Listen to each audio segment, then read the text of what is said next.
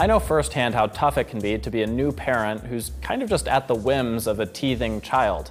So I'm a strong believer that every parent should get some kind of seat or rocker or sleeper or something that helps relieve them when they really need it. The question is, which one should you buy? Fisher-Price answers that question with a product that can pretty much be all of them. The Fisher-Price Smart Connect 4-in-1 Cradle and Swing. The problem is, this thing costs 200 bucks and it's a monster of a device. I mean, I live in a pretty small apartment and this thing takes up practically half my living room. The coolest feature of the Cradle and Swing is that it can function both as a cradle and as a swing.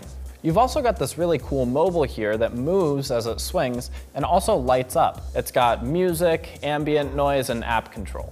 But despite this thing's four-in-one nature, I actually still want it to do more. I mean, I've worked with Fisher-Price products in the past that cost half what this thing does, and feel like they're as feature rich or maybe even more so. Now this thing swings, but if I take the rocker off and just rock it on its own, I have to do the rocking. And I know what you're saying, why are you complaining about rocking your son to sleep?